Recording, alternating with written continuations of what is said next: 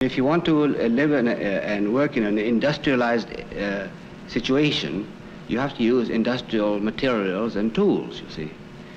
Uh, however, uh, I was not quite satisfied with that because I felt the limitations of such, uh, you know, tools, uh, you know, forced one to be a part of the of industry, you know, rather than free. And I felt that the more old-fashioned way of doing things, for instance, with stone, with your own hands, uh, left you greater freedom. And so I uh, went back to stone, and I'm still working on stone. Uh, I was working on wood for a while. But, you know, one shifts, I do, uh, backwards and forwards. Sometimes I think I'm part of this world uh, today. Sometimes I feel that, uh, that uh, maybe I belong in history or in prehistory or that there is no such thing as time.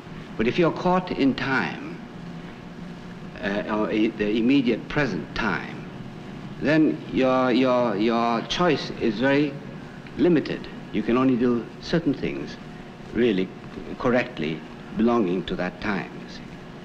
But if you want to escape from that time constraint, uh, then the whole world, you see, I mean, not just the most industrialized world, but the whole world is someplace where you belong.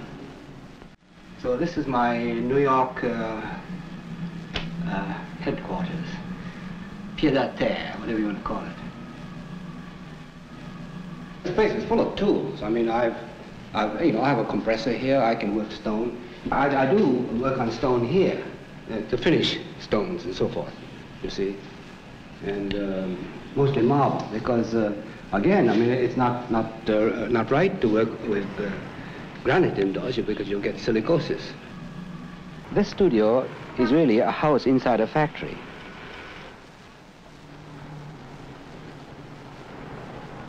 Now, for instance, uh, you know, the Africans are so intelligent. Look, look what a wonderful chair this is.